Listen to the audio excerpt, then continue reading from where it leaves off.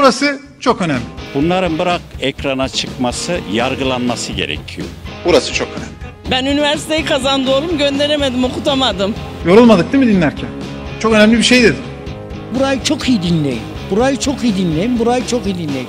Ama baktığın zaman dinlediği yer bomboş. Berat Albayrak'a göre ekonomide değişim başlıyor. Albayrak bugün yeni ekonomi programını açıkladı ve şunları söyledi. Dengelenme hedefimizi başarıyla uyguladık. Rahatlamanın çok daha iyi olacağına hep inandık. Çok büyük bir badirenin etkilerini bir yıllık gibi bir sürede geride bıraktık. Yıllık yüzde beşlik büyümeyi devam etmeyi hedefliyoruz. Albayrak'ın çizdiği bu olumlu tabloyu bakın burası çok önemli halka soracağız. Şurada geçen insanlara bir sorun bakayım. %80'i %90'ın cebine yansımış mı? Kendi cebine yansımışsa bir şey demiyoruz. Ama şu anda ekonomi sıfır. Piyasa nerede canlandı lan? Piyasaların canlanması beton sektörlerinde belli olur. İnşaat firmasının beton sektörlerinde belli olur. Beton sektörlerine gidin. Bak ben size çimento fabrikaları ve beton sektörlerine gidin araştırma yapın. Piyasanın canlandığını orada görürsünüz. Piyasa canlandı Şu anda gezin ortalığa bakın. Yani ben turizmciyim. Kafeciyim. Piyasa yansımış mı? Yok yansımamış. İnsanlar genel anlamda evine bir şey götürebiliyor mu? Yok. Emeklinin halinden anlayan var mı? Yok. E, Türkiye'de ne canlandı Allah aşkına yapmayın ya. Bittik bittik. Memleket bitmiş. Sattılar her tarafa parçaladılar. Satacak yer yok. Bu sefer insanların farklı farklı yönlerden soymaya çalışıyorlar. Vallahi satılan bir yer yok. Nere satıldıysa bana gelsin de söylesinler ben söyleyeyim. Ben soracağım lütfen. Bir lütfen. Peki şunu söyleyeceğim. 2000 yılındaki deprem vergileri şu anda nereye gitti? Deprem vergisi dediğin 600-700 lira bir şey. 600 Deprem vergileri şu anda nerede arkadaşım onu söyle bana. Deprem vergileri depremle ilgili fon vardır oraya yatmıştır. Nereye yatacak? Fon hangi fona? E, depremle ilgili Yıllardır bu ülkede vergi ödüyoruz. 2000 yılından belli yani de Kocaeli depreminden belli vergi ödüyoruz. Yani 2003 2003 yılından belli vergi ödüyoruz. Kalıcı oldu. Peki 2002 yılından 2019 yılına kadar bu vergiler nerede? Yok. Ben söyleyeyim mi nerede? AVM'lere yapıldı, müteahhitlere yapıldı, yandaşlara yapıldı. vergileri müteahhitlere mi verdi? Kime verdi? Müteahhitlere nasıl verecek? Vergi müteahhit zaten kendi işini kendi yapıyor. Hangi işini yapıyor? Hayır kendi işini kendi yapıyor müteahhit. Ya bırakın Allah aşkına. Kendi yapıyor müteahhit. Türkiye Cumhuriyeti'nde şu anda görünen 4 milyon yani kayıtlı 4 milyon işsiz var. Bunun resmi kaynakları olmayan. de var. Kurban olduğum iş, iş işsizlik var. Bunun yanında da iş beğenmemezlik de var. Sen şimdi iş beğenmiyorsan e, piyasaya gel şuraya tezgah aç. Sat. Simit sat. Ha, şu anda var ya bu da AKP'li olduğu için hayal tüccarlığı yapıyor bize. Berat Albayrak'ın yaptığı gibi. İnsanlara hayal tüccarlığı yapmasınlar. İnsanlara gerçekliği anlatsınlar. Gerçekleri. Bizim hayatın gerçeklerini anlatsınlar. Bir, bir dünya konut satıldı ya. Bir ayın iki ayın içinde bir ayın iki ayın içinde. Düşünsene müteahhitin bugün bin dairesi varsa bugün bin dairesini sattı adam. Arkadaş bunu mu diyor? Ben de şunu diyeyim. Bugün sizinle haciz şeylerine gidelim. Memurların oraya gidelim. Adliyeye gidelim. Türkiye'de şu anda haciz. Kaç milyon haciz var biliyor musunuz? 11 milyon hacizli insan var. Şahsi borcunu mu yatırsın? Senin borcun varsa çalışacaksın yatıracaksın. Hacize düşmeyeceksin. Çalışmak için diyor ki iş yok. Hayır iş var niye yok? Niye yok? Hadi iş var. Nerede? Hadi söyle lan. Ne iş arıyorsun? Bulun, bu hadi gidelim şu iş kurunun önüne. İş kur desin. Söyle ne iş arıyorsun? Ne iş? Ya yok abi. 4 milyon işsiz var ya 4 milyon. Ya var kurban olduğum iş var. Sen iş beğenmiyorsun. Bak sen iş Ben iş aradım da ben Çorum'dan geldim. Ha, bugün iş buldum ben bu arkadaşa. Bak şöyle yok Buldum şimdi. bulmadım ben sana. Ben Çorum, Çorum'da ben Çorum'da işkura gittim. Ee, bak cidden diyorum bak ben Çorum'da e, biliyorlar zaten kendileri de biliyorlar. Ben Çorum'da işkura gittim. Ee, dedim ben dedim iş arıyorum dedim. Ondan sonra onlar da dedi bana iş gelmedi. İş gelse zaten gönderecek seni dedi bana. Arada iki ay falan geçti. Hayır o mevsimlik da- işçi bak o mevsimlik işte o başka bir daima sistem. gerektiği çalışıyorlar ama. Hayır daimi işçi değil o mevsimlik sistem. Sen o ayrı bir sistem. Sen şimdi onu getirip de mevsimlik sistemi. E Tamam o zaman bana niye öyle daimi diyor? Tamam. Ben işkura ben kendim gittim oğlum. İşkura kendim gittim. Bana, bana dedim, iş dedim. İş gelmiyor dedi. Seni nasıl yönlendireyim dedi bayan. Ya Çorum dar bir yer. Şimdi Çorum'la bura bir değil. Ülkede 80 milyon verip de 4 tane Mercedes almayı biliyorlar. Bilmem Marmaris'te yat kat yapmayı biliyorlar. Kendilerine gelince Kepçeyle vatandaşa gelince kaşıkla vermesinler. Yani millete hayat tüccarlığı yapmasınlar. Dürüst olsunlar. Hani biz Müslümanız diyorlar ya. Müslüman değiller. Müslümanlık öyle değildir. Müslüman komşuluğunu, vatandaşını, kendi vatandaşını düşünen Müslümandır. Bu ülkede vatandaşını düşünen var mı? Bize kendi hayatımızı anlatsın. Yani yaşadığı hayal tüccarlarını anlatması. Öperim. Adamsın. Anladın mı? Bak bir sürü gencimiz işsiz. Röportajımız saniyeler içinde devam edecek ama öncesinde yapmanızı istediğimiz bir şey var. Yukarıdaki linke tıklayıp Patreon'dan bize destek olabilirsiniz. Nasıl yapacağınızı bilmiyorsanız açıklama kısmına da bunun için bir link bıraktık. Şimdi kaldığınız yerden izleyebilirsiniz. İyi seyirler. 18 yaşındayım işim yok gücüm yok. Vallahi boş boş geziyoruz. Sigara olmuş 15 milyon. Abi diyor ki iş beğenmiyor gençler. İş beğenmem iş yok ki iş beğenelim. Asgari ücret veriyor 2000 lira. Kime yetecek neyimize yetecek. Sigara olmuş 15 lira. Aylık 500 milyon. Düşük, tamam ben ona bir şey dediğim yok ama şimdi bunların hepsi zamanla düzelir yani düzelir. Böyle kalacak değil yani. Ne zaman düzelir söyleyeyim mi size? Kaç yaşındasın? 25. 55 yaşına gelince düzelir. Devlete gel şunu. Devlete devlete tamam mı? Bu devletin ekmeğini yiyip de arkasından şu yapılmasın, bu yapılmasın, yok S-400 alınmasın, yok Selahattin Demirtaş e, hapiste niye tutulsun diye e, her taraftan çomak sok- sokanlar ondan sonra şimdi kalkıp da yani devleti kötülemesin bana. Abi bu devlet bizim. Tamam. Kaydırdı biliyor musunuz? Biz de Türkiye'nin acı gerçeklerini anlatıyoruz. Bu siyasetin acı gerçeklerini anlatıyor. Biz Türkiye'deki yaşam koşullarının acı gerçeklerini anlatıyoruz.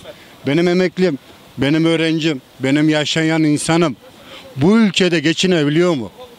Böbreğini satan, kayıp düşen, işsizlikten kafasına sıkan, Kızılay Meydanı'nda kendini yakan, Kızılay Meydanı'nda Siyasi abi. Siyasi. Bu ülke... Onlar hepsi siyasi abi. Kendini niye yakar abi adam? Kendini niye yakar bir adam? İşsizlikten çocuğuna çocuğuna para alamadım. Bak gerek yok. Olsa İnsanlar bazen haber izlemesin. Tamam mı? Gerçekleri anlattı. Biz hayatın gerçeklerini anlatıyoruz. Ülkedeki en ekonomiyi batıran kişiler ülkemizdeki moruklardır. Niye diyeceksiniz? Ülkemizdeki moruklar maalesef 400 lira maaşla verdikleri fazla parayla onurunu gururunu satıyor ve bizim gibi gençler işsiz kalıyor. Bu bir gerçektir. Burada herkes şahit. Yani 400 TL'lik fazladan maaşla ihtiyarlar, moruklar oyunu veriyor. Bizim gibi gençler işsiz kalıyor. Gerçekse gerçek desinler, yalansa yalan desinler. Her şey moruklar yüzünden kahrolsun moruklar. Hadi bakayım. Ya işte bu bizim gerçeğimiz ya hanımefendi. Bizim Türkiye Cumhuriyeti'nin acı gerçekleri. Biz Mercedes'le karnımızı doyurmuyoruz. Bizim pırlantamız yok. Bizim yatımız katımız yok. Bakın en basit arkanızda çoluk çocuk. Evine bir, bir kuruş lokma götüren var mı ya? Kendilerini büyütüyorlar. Kendileri hamuduyla götürüyorlar. Yapacak bir şey yok yani. Tabii yani ben üniversiteyi kazandı oğlum gönderemedim okutamadım. Tabii gönderemedim. Ya hakkımı da hiç helal etmiyorum o baştakilerin hepsine de. Haram olsun. Çünkü ben yetimimi okutamadım. Çünkü onlar hamuduyla yuttuğu için. Diyecek bir şey yok. Sözün bittiği yerdeyiz. Çünkü emekli maaşımla ancak kendi faturalarımı neyimi ödediğim için gönderemedim. Gençler için de işsizlik sorunundan bahsetti. Ee, dedi ki 1 milyon 66 bin kişiyi istihdam edeceğiz. Nasıl bütün fabrikaları kapatmış, satmışlar. Nereye nereye sokacaklar? Yalan söylüyorlar, insanları aldatıyorlar. İnsanlarla dalga geçmesinler, tamam mı? Bu ülkenin insanları sava- zavallı ve saf değil. Tamam mı? Gözlerimizin içine baka baka bu ülkeyi soyuyorlar. Çalıyorlar. Vatan hainliği yapıyorlar. Vatan hainliği. Bunların bırak ekrana çıkması, yargılanması gerekiyor. Bunlar suç işliyorlar. Bu ülkeyi gram gram satıyorlar. Büyüme hedefinden bahsetti. Siz de izlemişsiniz. Yok, yok. Ne büyümesi ya? Utanmaları gerekir. Yani ekrana çıkıyor. O yalaka, o basit adam tamam mı? O basit adam atalarından aldığı yalan ve sahtekarlıkları bize yutturmaya çalışıyorlar. Ama ben inanıyorum bunun hesabını verecekler. Bu adamlar yargılanması gerekir. Peki ben bir şey soracağım. Bu ekonomi uçuşsa acaba düşüş nasıl olacak? Nasıl düşeceğiz? Aa bankalar kredileri düşürmüşler güya. Nasıl olacak bu iş? Biz ona inanmıyoruz yani. Ben ona inanmıyorum. O işi gücü işte şey efendim? Ya bütün memleket ma- mahvolmuş ya. Adamın tek dediği şu. Şimdi burayı çok iyi dinleyin. Burayı çok iyi dinleyin. Burayı çok iyi dinleyin. Ama baktığın zaman dinlediği yer bomboş. Yani ben ekonomist değilim. Ama ülke zaten harap bir vaziyette ya. Yani istediği kadar uçuşa geçirsin. Ya uçuş böyleyse düşüş nasıl olacak? Vallahi kefen parasına kadar yediler. Daha ne olacak ya? Yani bir ekonomist. Dünyada üç türlü ekonomi var. İsraf ekonomisi, şu ekonomi, bu ekonomi. Bunun modeli belli değil. Deprem vergilerinden bir şey çıkartmadılar bak. Deprem vergileri diye bir şey çıktı. 15-17 senedir ilk açıklamayı yapan Çevre Bakanlığı. O da kendi üstüne atmak için topu. Profesörün biri dedi ya bize böyle bir şey gelmedi dedi. O ona düştü, o ona düştü.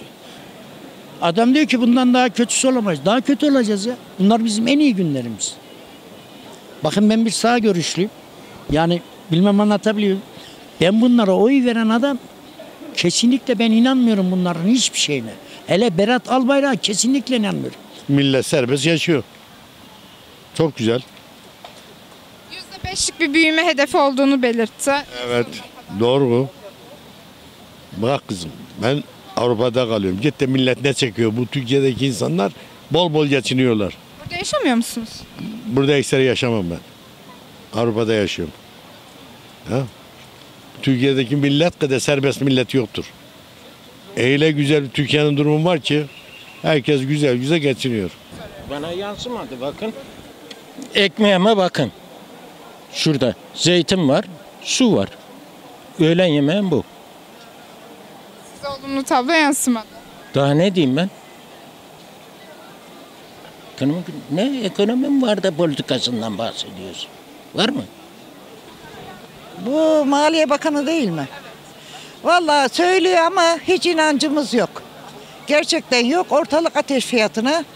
Ne et yiyebiliyoruz, ne balık yiyebiliyoruz. Biraz fakiri fıkarayı düşünsün. Herkes onun gibi zengin değil. Tamam mı yavrum? Ha, selam söyle. Berat Albayrak. Ha, yüzlerinden öpüyorum yavrum senin de. Hadi. Azıcık ucuzlat ortayı. Ne bileyim yani geldiklerinden bu tarafı yani ne yaptılar ki yani halka ne verdiler? Halk sıkıntı içerisinde, sefillik içerisinde. Zor. Yani şöyle bir bakarsan halkın yüzü gülüyor mu? Yani ben bir gülen yüz bir halk görmedim. Değişim dönemi başlıyor dedi. Vallahi çok zor yani eğer değişim dönemi başladıysa çevresine başlamıştır, kendisine başlamıştır. Kimseye başlamadı. Berat Albayrak diyor ya yapsal reformlar, yapsal reformlar. Onlar yapması gerekiyor ama onlar da yapmıyor yani. Faizi düşürüyor, dövizi baskılıyor. O tür e, köylü kurnazı hamleleri yapıyor. Onlar da bir işe yaramaz yani.